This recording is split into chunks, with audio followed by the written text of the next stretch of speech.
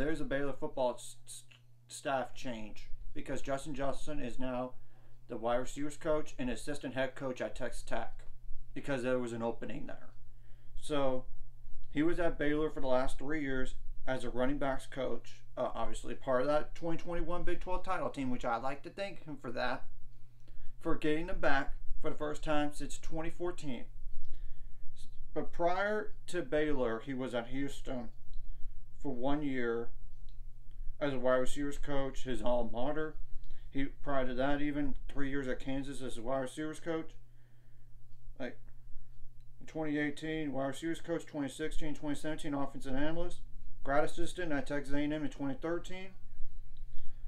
He was a offensive quality co- control coach for Houston in 2012. He was a four-year letter winner at Houston from 2008 to 2011, including an All Conference USA first team pick in 2011. Competed in three bowl games and two Conference USA championship games.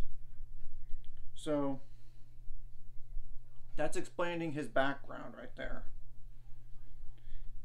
Like as a senior there, he was he caught 87 passes for 1,229 yards and 12 touchdowns.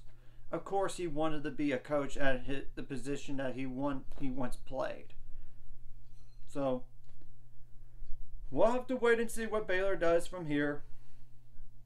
I'm sure they got a few guys in mind already. They probably knew that this was coming. They probably knew. So I would not panic.